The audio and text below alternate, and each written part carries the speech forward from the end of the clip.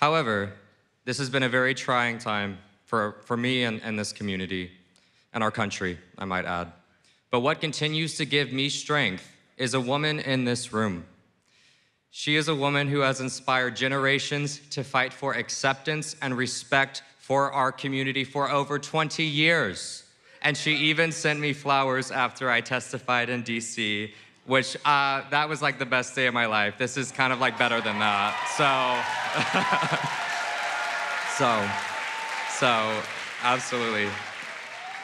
Um, you know, so many of us in this room and in this world are fighters now. We're fighters because Christina Aguilera taught us that we could be.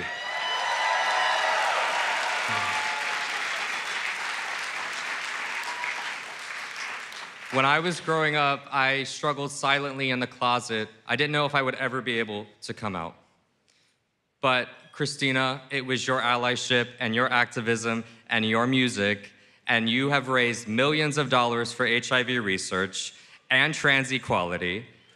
It is your activism and your strength that has healed my heartache that I went through when I was so young, and you have touched the depths of my soul.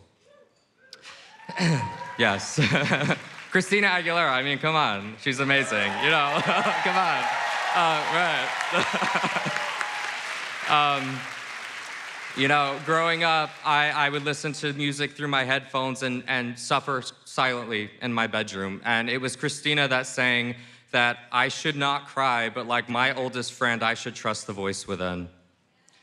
And then you taught me through my headphones that all the adversity and turmoil that I was going through then and I'm going through even today would one day make me that much stronger, wiser, and a fighter. Yes. And she also told all of us that one day we would be able to spread our wings and soar, and that nobody could hold us down. Nobody. And you know what, Miss Christina? You were right. We are all beautiful no matter what they say.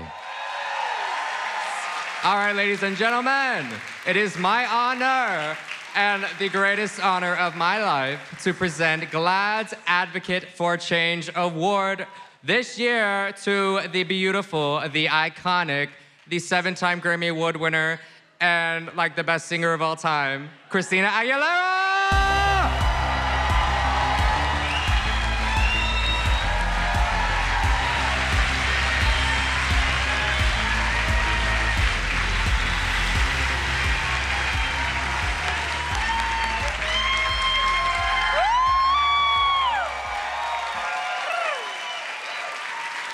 Wow. Thank you, Michael. Thank you, GLAAD.